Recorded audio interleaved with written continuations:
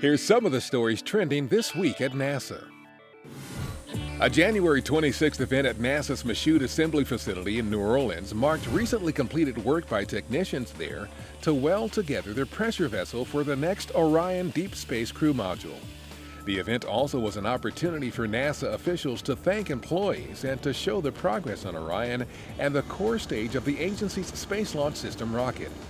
The Orion pressure vessel will be shipped to Kennedy Space Center in Florida next month, where engineers will continue to prepare it for the first flight of the SLS rocket. Even as the one-year mission aboard the International Space Station winds down, activity continues at a steady clip on the orbital laboratory.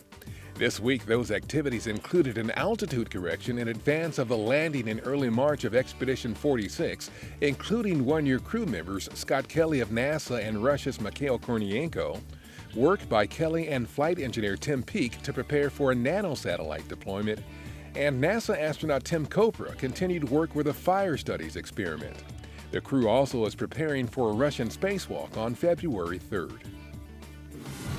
A new color animation based on images from NASA's Dawn spacecraft shows a simulated flight over the surface of dwarf planet Ceres.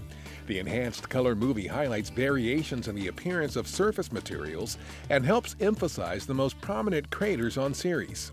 Dawn is the first mission to visit Ceres, the largest object in the main asteroid belt between Mars and Jupiter. The spacecraft is in its final and lowest mapping orbit at about 240 miles from the surface.